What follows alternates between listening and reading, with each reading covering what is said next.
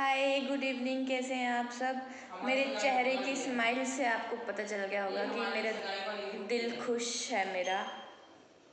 मेरे मदर अब पहले से बेटर हैं। Thank you so very much आप सबकी दुआएँ लगी हैं।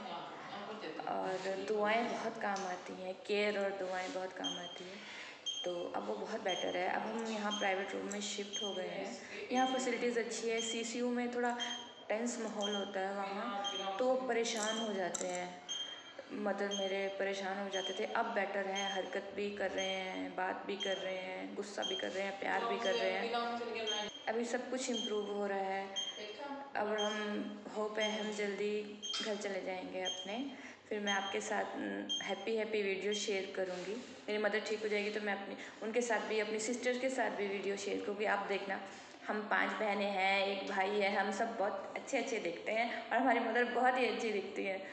तो आप दुआ करना, सब प्रेयर करना और thank you so very much सब, सबका धन्यवाद।